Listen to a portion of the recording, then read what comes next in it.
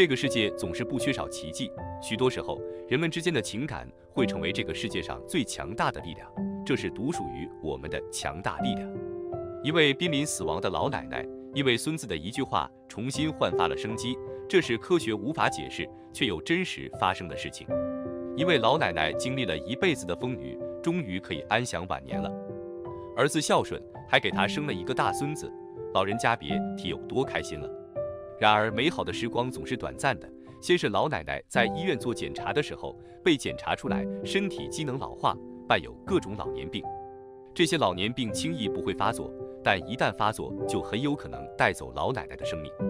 在老奶奶剩余的生命中，她不能经受太过强烈的刺激，否则身体很有可能受不了。但事情的发展总是出乎人的意料。老奶奶的孙子两岁半了，但依旧不会说话，连简单的发音都做不到。起初没有在意这件事情，因为孩子实在是太小了，平时也能吃能喝的，虽然不爱动，但家里人也都认为是孩子性格比较安静的原因。可在孩子两岁的时候，依旧是一副不爱动、不爱笑、不说话的模样，父母也察觉到了一些不对。在带着孩子去医院做了检查之后，原来孩子有自闭症，这种病说严重也严重，说不严重也不严重，至少对生命没有威胁。于是全家都积极地开导孩子，希望帮孩子恢复正常。老奶奶平日里会经常抱着孩子说话，医生也说这样对病情有帮助。意外来得非常突然，老奶奶还是因为突发的心脏骤停被送进了医院。到了医院之后，医生们也是第一时间对老奶奶进行了抢救，但救援的成果很不理想，老奶奶的心跳迟迟没有恢复。医生们将老奶奶的家属叫进了病房，让家属在最后对老奶奶说一些想说的话。家人们无论说什么，老奶奶都没有反应。最后，他们给还在家里的儿媳打了电话，儿媳因为要照顾孙子，并没有一起来医院。在电话里，儿媳还在叫孙子说话。她一遍一遍地说着：“说奶奶，我爱你。”可孙子连出声都不会，又怎么能说出一句完整的话呢？但神奇的事情发生了，自闭症的孙子竟然真的开口了，缓缓地说出了“奶奶，我爱你”，声音很大，咬字清晰，还有些吃力。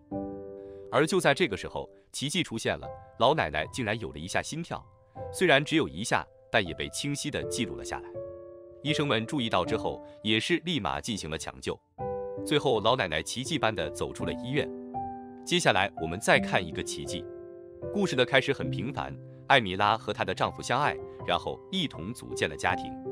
和其他所有夫妻一样，在度过一段甜蜜的时光过后，艾米拉决定与丈夫要个孩子。他们的身体很健康，几乎没有遇到什么阻碍。艾米拉顺理成章的怀孕了。艾米拉有了爱的结晶之后，丈夫将艾米拉保护得非常好。艾米拉对肚子里的孩子也非常的重视，很少会走出家门。可以说，艾米拉在整个孕期连情绪都没怎么起伏，很快便生下了一个小男孩。这好像就是天赐的礼物一般，一下子让这个家变得完整。他们开启了三口之家的幸福生活。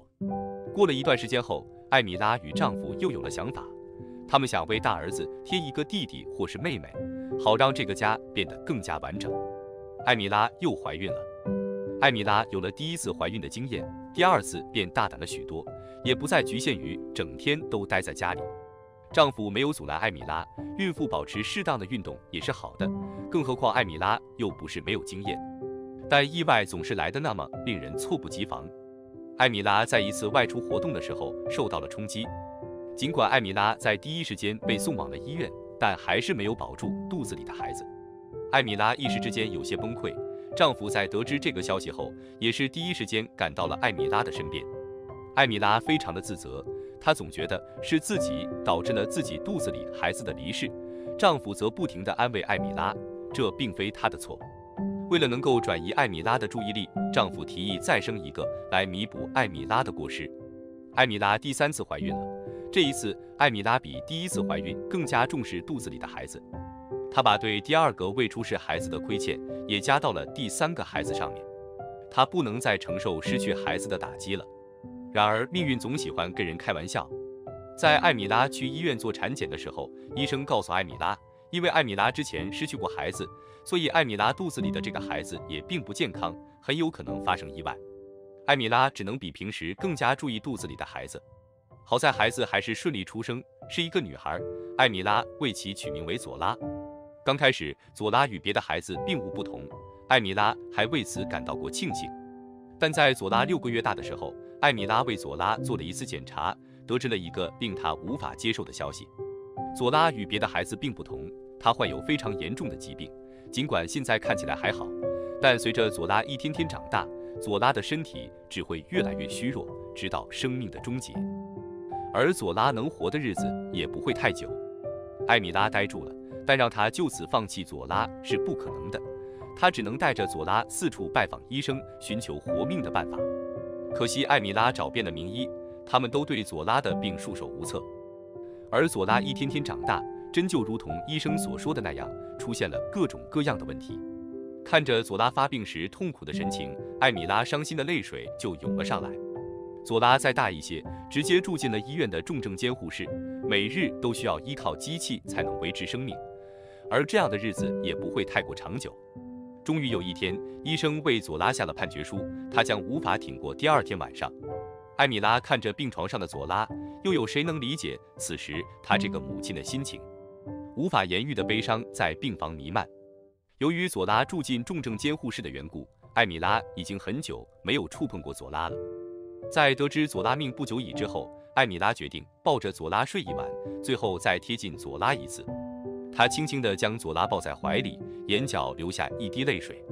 第二天，医生照例给佐拉做检查。医生惊奇地发现，佐拉的身体机能突然开始好转了。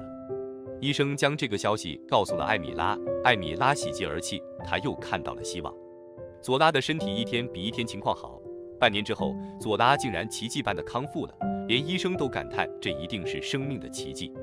艾米拉不知道发生了什么。但他庆幸佐拉能回到自己的身边。